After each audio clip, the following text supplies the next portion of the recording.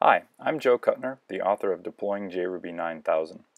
I'd like to show you how to use some common JVM tools that can help you investigate memory leaks and manage an active JRuby runtime.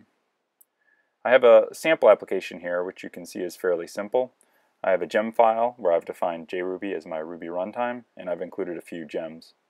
In my main Ruby file, I start Sinatra and I have a single route and I'll add a couple of lines of code to this which create a memory leak. Don't do this at home, this is just for demonstration purposes. Back at the console, I'll start by running bundle install with the bin stubs option. Uh, I use bin stubs because uh, bundle exec actually creates a second process which increases my startup time. So by running bin scripts I can save a few seconds. So I'll start the Puma server and then from another console I'll run a curl command to make sure that it's running. Good.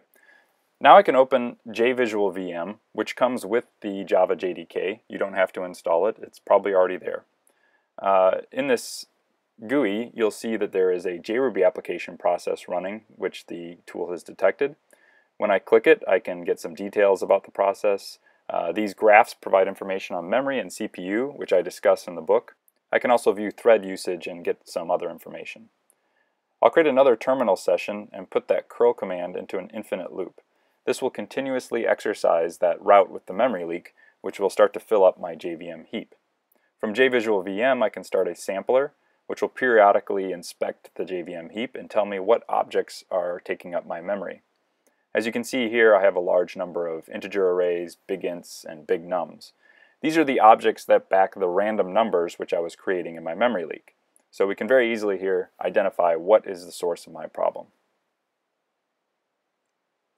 Before I show you the next tool, I'll restart my server. This time I'll start it with the dash dash manage option. This will enable some features in JRuby called JMX, which provides some management interfaces to the runtime. When the server has started, I'll run the jconsole command, which will open jconsole, another GUI tool provided with the JDK. Again, I'll see my JRuby process listed, which I can connect to.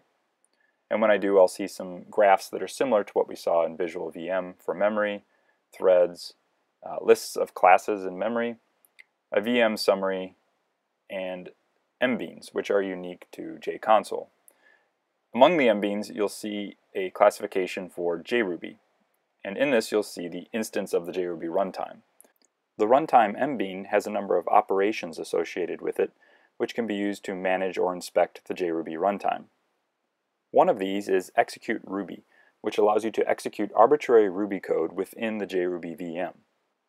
To demonstrate this, I'll use a puts command with a string jconsole, and when I execute this operation, you'll see that jconsole is emitted to the terminal session. This is a simple example, but mbeans can be used to perform important management actions in a production system. They can also be invoked programmatically with the JMX gem. In deploying with JRuby 9000, you'll learn more about these tools and other powerful JRuby features.